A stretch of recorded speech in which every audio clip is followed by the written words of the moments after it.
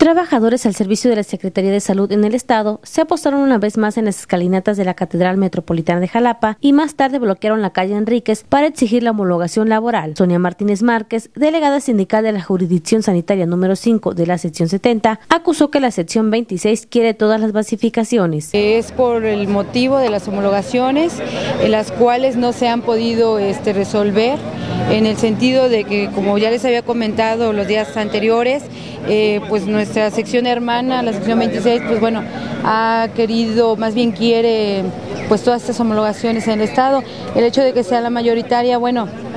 no da derecho porque somos más secciones hermanas como es la 70, la 71, la 74, la sección 69 y la subsección número 1 de Coaxacualcos, los que estamos en espera de esta homologación. Refirió que en esa jurisdicción son 75 las personas que están en espera de su homologación desde hace 15 años, por lo que pidió a las autoridades hacer valer sus derechos. Estamos seguros de que nos va a apoyar, pero también eh, volvemos nuevamente para que nuestro líder nacional a nivel federal él vea las necesidades de los compañeros, el largo trabajo que hacen ellos día con día, que es igual con los mismos,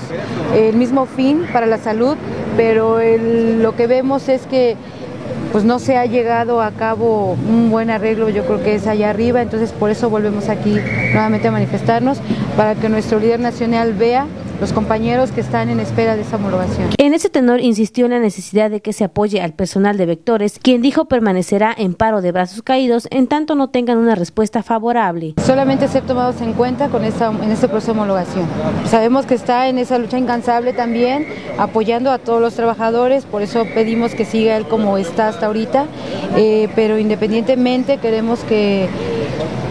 pues México vea más que nada, nuestro líder nacional vea que cómo estamos este, aquí manifestándonos